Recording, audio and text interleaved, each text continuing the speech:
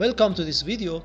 In this video we are gonna explain how we could model crack propagation in double cantilever beam using VCCT criterion in Abaqus software. In part module we create a rectangular part in two-dimensional space which represents half of the model. We create a rectangle from point 0, 0 to point 9 and 0.2 inches. Then in property module, we create a material for the part which is linear elastic. We enter Young modulus and Poisson ratio of the part here. And then we create a section and assign the section to the part. In assembly module, we enter the part two times. And then we translate one part to its proper position to make the whole model.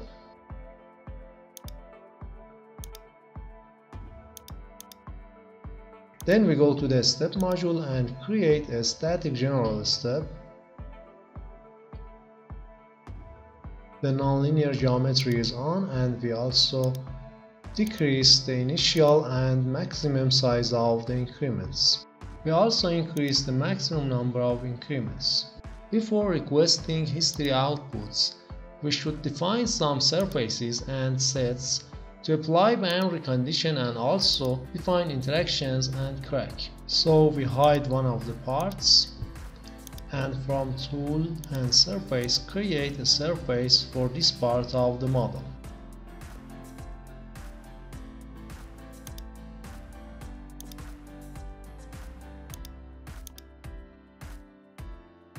We pick the bottom face of the upper part and also create a set for applying movement and requesting reaction force in this point. Then we show this part and hide another part.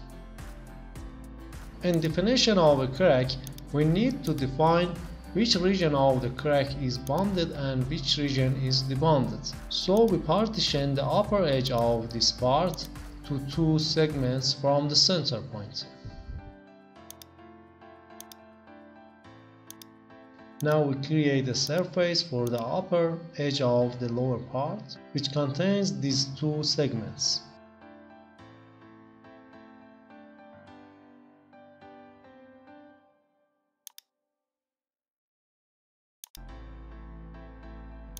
Then we create a set which contains bonded region of the crack.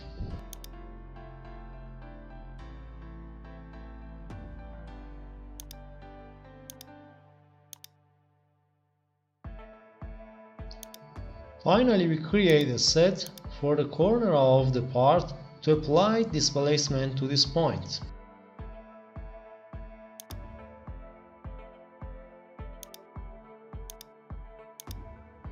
Now we can go to the step module and request reaction forces that apply to one of the points with displacement.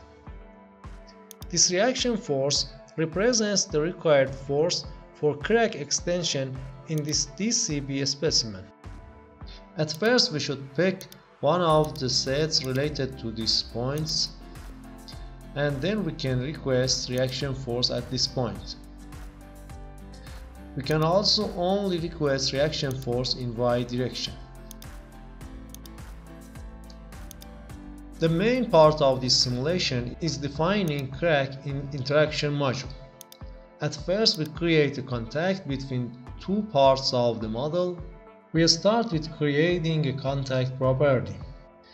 We choose VCCT fracture criterion which compares equivalent energy release rate with its critical value.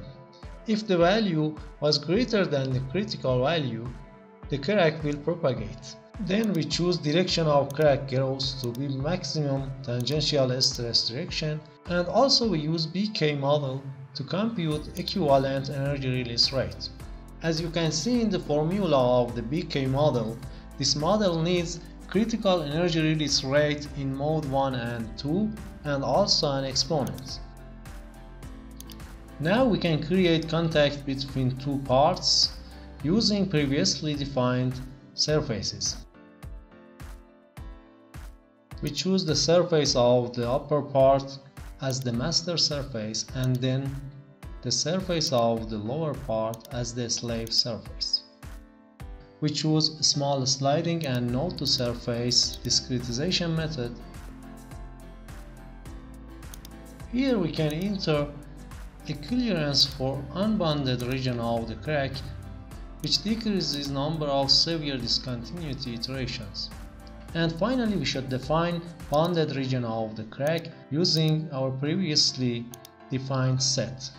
Then we pick the contact property and continue. In the last step of creating the crack, we use a special crack and create and choose debonding using VCCT criterion.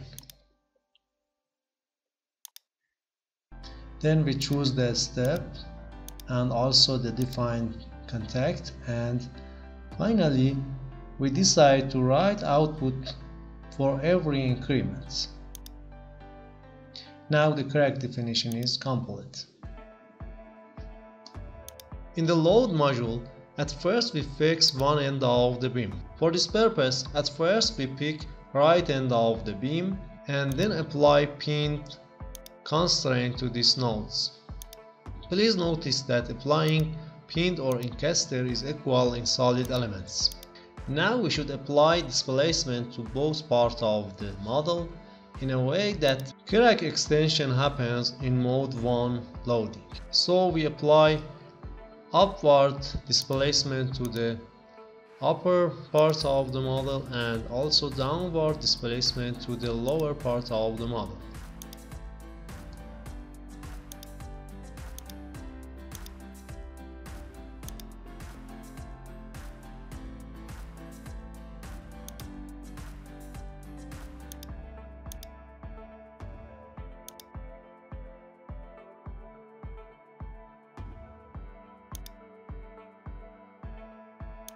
In the mesh module, at first we apply quadrilateral and structure elements to both parts of the model.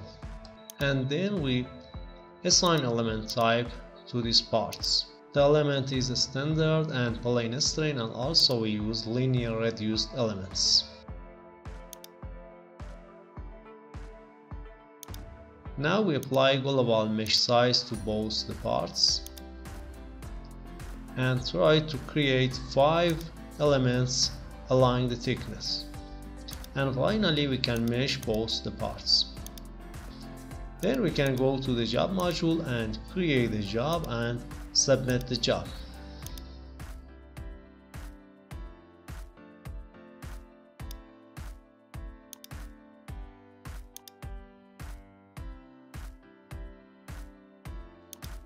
To analyze the result of this problem, please notice that this problem contains two distinct steps. At the first step, the crack doesn't extend and only the debonded part of the crack is opened.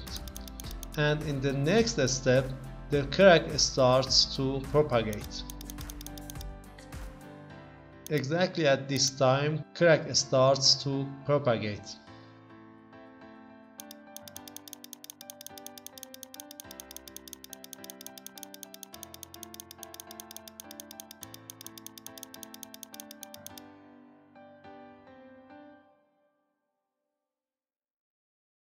And at the end of the simulation the crack propagates up to this point. We also could pull out the required force to open this crack. At first, force has almost linear behavior with respect to the time or displacement and after initiation of crack propagation, the force reduces from its maximum value. Thank you guys for watching this video. If you are interested in various aspects of crack simulation in Abaqus software, you can find more videos in this playlist. If this video was helpful, Please let us know by a like, a comment or a subscribe. See you in next videos.